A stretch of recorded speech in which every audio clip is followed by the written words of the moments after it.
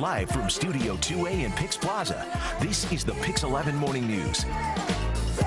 Corey is shaking. You just 737. If you've ever bought jewelry, you know, bought it, you, you know how Yeah. confusing it can be because you really have to trust the person that you're buying from. I know nothing Is it about real? it. Is it fake? Is it 10 karat, 14, 18, 22? What is it? Yeah, I have to just like read the thing and, and pray that I'm actually you know, Yeah. getting what they say, whether it's diamonds or rubies or sapphires or whatever. I mean, I'm, I don't know much about it. But you know what? Someone joining us this morning is going to help us Sure. navigate through it and protect ourselves. Kirstin Cole is here with a, a gem of a story, Oh, aren't you guys sweet? Yes. You know, all that glitters is not gold. And we're is, here is to it? tell you about it. The internet is filled with complaints from consumers, lawsuits filed against some of the biggest jewelry sellers, and questions. How the heck can anyone make sure that they're getting the real thing? Watch and learn.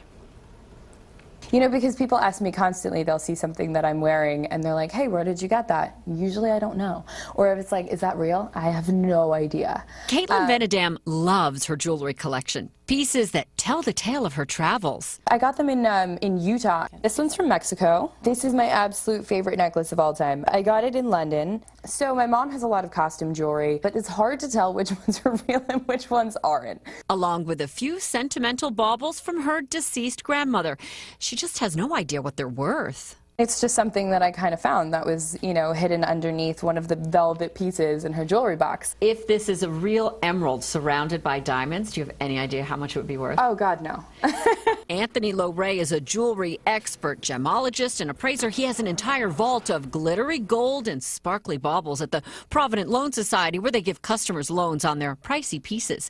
And he has seen the best of the real stuff and some fabulous fakes. People think that uh, fakes and uh, synthetics and simulants are kind of a new thing, but they've been around for centuries. He teaches me some quick ways to spot a fake from biting a pearl necklace, first the imitation, Totally smooth. then the gritty feel of real pearls. You It's can actually feel the ridges. sandy feeling, Correct. almost. Yes. A magnet is a quick and cheap way to pick out imitation metals. The real deal, like platinum, white, and yellow gold, won't stick. So we know this is a fake. Correct.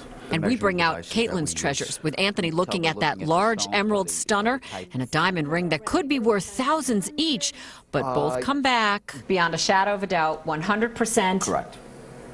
Is fake. A final bright spot. this one- this one Anthony's expert eye finds that very smooth Caitlin's diamond stud earrings, a gift from mom, are the real deal. Oh, these are beautiful. These are diamonds that any woman would be happy to have. So we really want to put some baubles to the test, and guess what? We opened up the vault. Yeah, I know.